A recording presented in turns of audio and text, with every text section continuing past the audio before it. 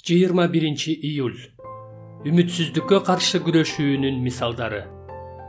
Денем да жүрөгүм да алсырады бирок жүрөгүмдүн жөлөгү түбөлүк үлүшүм кудай забур 72 бөлүм 26 аят. Бул аятта чындыгында алсырашы мүмкүн деген эмес алсырайт деген этиш колдонулган кудайды терең сүйгөн забурчу асап денем да жүрөгүм да алсырайт дейт мен кайгы муңга чөмүлдүм менин үмүтүм үзүлдү бирок ал ошол замат өзүнүн кайгысын бирок жүрөгүмдүн жөлөгү түбөлүк үлүшүм кудай деген сөздөр менен жеңгенге аракет кылды забурчу үмүтсүздүккө алдырган жок ал ишенбестиктин мизин кайтарды чынында ал мен өзүмдү алсыз жана айласыз сезип жатам.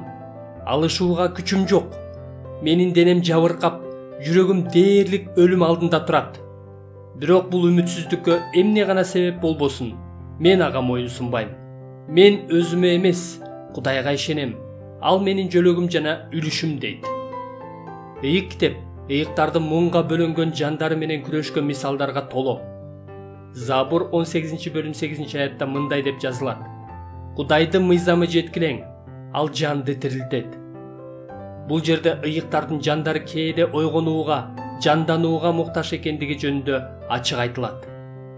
Эгерде аны кайрадан жандандыруу керек болсо демек ал өлүк болгон сыяктуу көрүнөт. Дөөт забур жыйырма экинчи бөлүм экинчи үчүнчү аяттарда ошол эле нерсе жөнүндө айтат. Ал мени жай аккан суу боюна алып барат жаныма күч берет. Теңирдин жүрөгүнө жаккан кишинин жаны андан келген күчкө муктаж анын жаны чаңкап чарчап чаалыгып кулап кала жаздаганда кудай аны сугарып кайрадан жашоо багыштайт. Биринчи шамуэл он үчүнчү бөлүм он төртүнчү аят.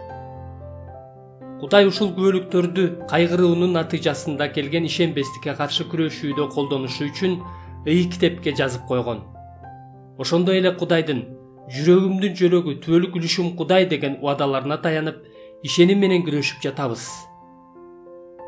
биз муну өзүбүзгө күбөлөндүрүп жатабыз жана буларды тайманбастык менен шайтанга каршы жар салабыз.